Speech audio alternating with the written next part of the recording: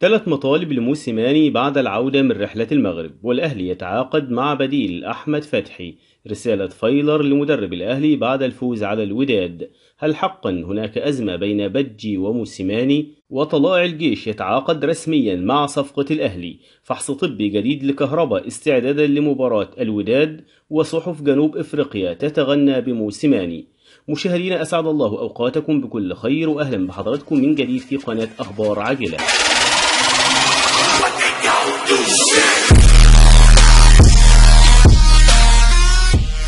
أهلا بكم مشاهدينا وعدنا من جديد وتجدد اللقاء مع أخبار النادي الأهلي لهذا اليوم والتي نبدأها بالخبر الأول وثلاث مطالب لموسيماني بعد العودة من رحلة المغرب. منح الجهاز الفني للنادي الأهلي بقيادة موسيماني لاعبيه راحة سلبية اليوم على أن يبدأ الفريق العودة للتدريبات بشكل تدريجي لمواجهة الإياب. ويعتبر منح اللاعبين راحة سلبية هو الطلب الأول لموسيماني عقب عودة البعثة الحمراء من المغرب. أما الطلب الثاني فكان من سيد عبد الحفيظ بغلق ملعب التتش لفرض مزيد من السرية على تدريبات أبناء الرداء الأحمر خلال الفترة المقبلة وحتى موعد مباراة الإياب المقرر لها الجمعة المقبل. وطلب موسيماني من لاعبيه خلال رحلة العودة للقاهرة بغلق ملف مباراة الذهاب والتركيز في مواجهة الجمعة. كما وضع الجنوب إفريقي برنامج تدريبي للفريق يبدأ بالاستشفاء وإزالة آثار الإرهاق والتركيز على الجوانب الفنية وخطة مواجهة العودة ثم البدء في زيادة معدلات اللياقة تدريجيا حتى الخميس المقبل ليلة الدخول في معسكر مغلق. ويرى موسيماني أن مباراة الإياب ستختلف كثيرا عن مباراة الذهاب حتى لو كان الأمر بدون جمهور خاصة وأن المباراة ستكون على أرض الفريق الأحمر وهي ميزة يجب استغلالها جيدا. أما الخبر التالي وإدارة الأهلي تقرر التعاقد مع بديل أحمد فتحي. قررت لجنة التخطيط بالنادي الأهلي عرض فكرة التعاقد مع الظهير الأيمن كريم فؤاد على المدير الفني بيتسو موسيماني خلال الفترة المقبلة بعد التأكد من رحيل أحمد فتحي إلى بيراميدز بداية من الموسم الجديد. وبالرغم من إشارة بعض التقارير في الفترة الماضية إلى احتمالية بقاء أحمد فتحي في الأهلي خلال الموسم المقبل إلا أن بعض المصادر المقربة من إدارة بيراميدز نفت ذلك وأكدت أن فتحي سينضم لتدريبات بيراميدز بعد نهاية مباريات الأهلي في الدوري. فلن يكون أمام لجنة التخطيط بالنادي الأهلي إلا عرض أمر ضم البديل لفتحي وهو اللاعب كريم فؤاد. الذي تم ترشيحه على موسيماني والذي اقتنع بفكرة رحيل فتحي وبدأ في تجهيز محمد هاني لقيادة هذا المركز بالموسم الجديد. وحتى الآن لم يعلن موسيماني رأيه النهائي في التعاقد مع اللاعب مفضلا حسم الملف بعد نهاية المشوار الإفريقي. ويعد اللاعب كريم فؤاد صفقة رابحة بكل المقاييس وخصوصا لصغر سنه حيث يبلغ من العمر 21 عام بالإضافة لظهوره مع إنبي بشكل مميز هذا الموسم. أما الخبر التالي ورسالة فايلر لمدرب الأهلي بعد الفوز على الوداد المغربي. أرسل ريني فايلر المدير الفني السابق للنادي الأهلي رسالة خاصة إلى الجهاز الفني الحالي للفريق بقيادة موسيماني مبديا سعادته بالانتصار الذي حققه الفريق على الوداد المغربي بهدفين دون رد في ذهاب نصف نهائي دوري أبطال إفريقيا.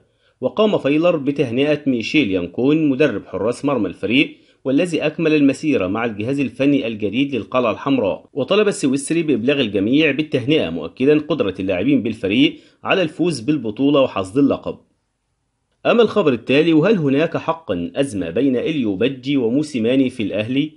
كشفت مصادر خاصة بالنادي الأهلي حقيقة وجود أزمة بين المدير الفني بيتسو موسيماني والمهاجم السنغالي إليو بجي حيث أشارت تلك المصادر إلى أن الساعات الماضية أثبتت أن المدرب الجنوب إفريقي غير مقتنع بقدرات بجي. خرجت تقارير سابقة تشير إلى أن إبعاد بجي عن المشاركة سببها الرئيسي هو وجود خلافات سابقة مع المدير الفني بعد أن جرت بينهم مشادة في لقاء الأهلي وصن داونز في العام الماضي عندما كان موسيماني مديرا فنيا لصن داونز. وقال مصدر مقرب من إدارة النادي الأهلي بأن موسيماني ليس بالمدرب الهاوي حتى يحكم العاطفة في عمله. بل هو محترف وعلى مستوى عالي من الدراية بأي قرار بيتخذه ولن يتخذ قرار يأتي تباع سلبية على فريقه ويحاسب عليه بعد ذلك. وبالتأكيد فإن رغبته في بقاء لاعب أو رحيله هي مسألة فنية من الطراز الأول.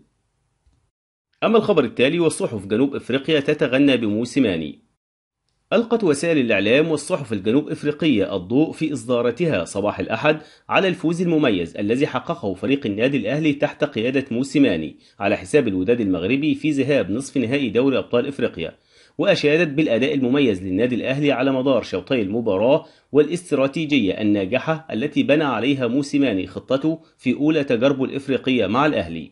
ذكرت صحيفة كيك أوف وسعة الانتشار في جنوب إفريقيا في عنوانها عن مباراة الأهلي والوداد أهلي بتسوماني يغرق الوداد في المغرب. ورصدت في تقريرها عن المباراة أن موسيماني استعاد في مباراة الوداد كابتن الفريق والحارس الأول محمد الشناوي بجانب الدولي التونسي علي معلول والمهاجم مروان محسن وأن الأهلي لم يستغرق طويلا للتسجيل بعدما تمكن من هز الشباك المغربية بعد أربع دقائق من بداية المباراة عن طريق محمد مجدي أفشة واللي استغل خطأ مدافع الوداد.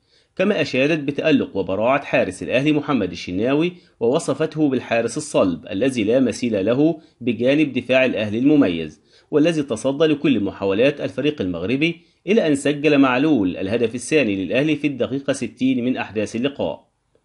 موقع سبورت 24 الجنوب إفريقي رصد فوز الأهلي وقال بأن موسيماني استطاع أخيرا حل العقدة الشخصية له أمام الوداد المغربي على أرضه بعدما استعصى عليه في السابق مع صن داونز.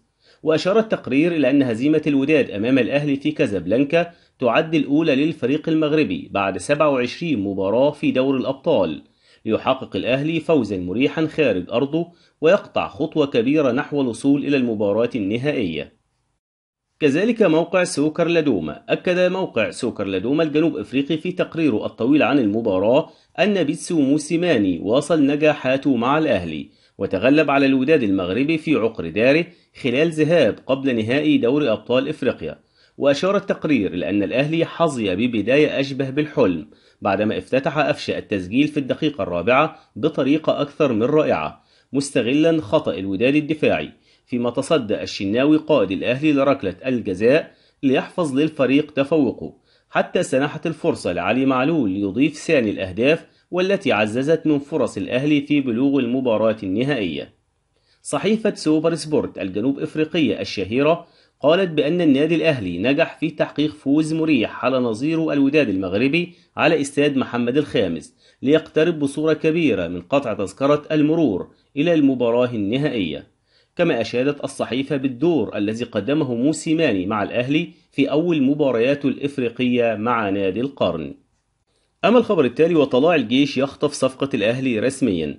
أعلن مجلس إدارة نادي طلاع الجيش عن التعاقد مع صفقة جديدة لتدعيم صفوف الفريق استعدادا للموسم الجديد تحت قيادة عبد الحميد بسيوني مدرب الفريق. وكان نادي طلاع الجيش قد تعاقد خلال اليومين الماضيين مع ظهير أيسر النادي الأهلي حسين السيد.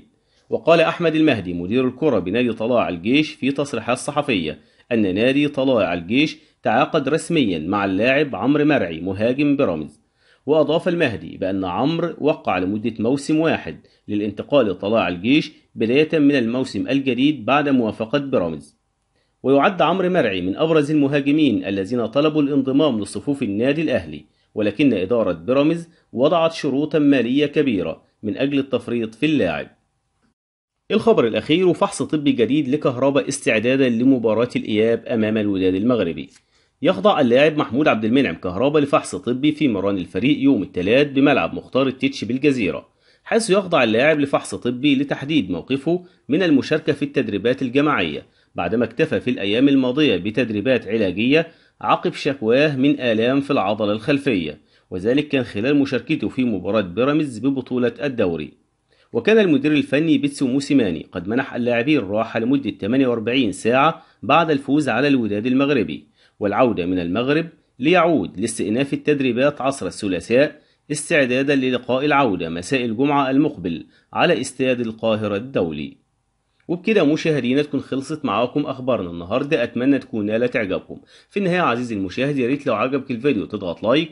أما لو كنت بشاهدنا لأول مرة اشترك معنا في القناة وفعل خاصية الجرس ليصلك إشعار بكل ما هو جديد لدينا. شكرا لكم والسلام عليكم ورحمة الله وبركاته. لا تنسوا الإعجاب بالفيديو والاشتراك في القناة.